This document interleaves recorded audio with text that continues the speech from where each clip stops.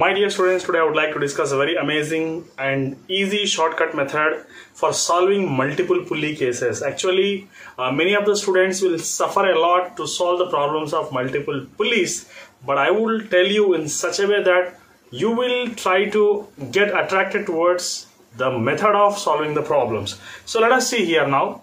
If you observe, this is a multiple pulley case. There is one shortcut here. What is that?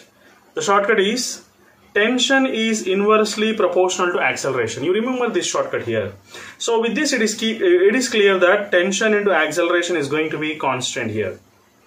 Okay? So here you can consider tension T1 A1 is equal to T2 A2 so here this side in anti-clockwise direction and this side is a clockwise direction. You take anti-clockwise direction if you observe, you will consider that 4t, 2t and t combined together it is going to be 7t into acceleration is a1 here.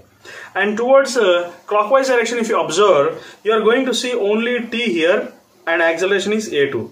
So t into a2 here. That's it. With this, no need of any free body diagram, no need of any uh, multiple equations for writing for the length of the strings and so on. So you'll enjoy a lot. This is a very amazing short trick. So you can just cancel out tension and tension.